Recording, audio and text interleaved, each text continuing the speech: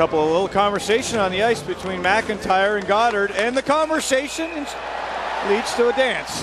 And this is one of many fights between these two players. They fought several times in junior. Godard missed the right cross.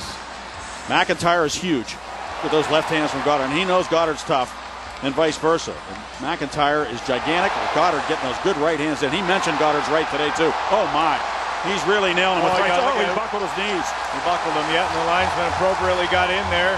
Six foot six and six foot four, and uh, that's one you don't want to get in the middle of. Well, actually, MacIntyre, I said he's 6'6". He said I'm 6'5", 250. That's pretty big. Big farm boy from Saskatchewan. Yeah, it reminds you of uh, 33 Marty McSorley, doesn't he? Uh, the Edmonton jersey. Boy, and there were some bombs as they show it in the Jumbotron here again, and uh, the crowd is oohing and hawing when they see it a second time. They fought in junior, Bob, every time that their two teams played against one another.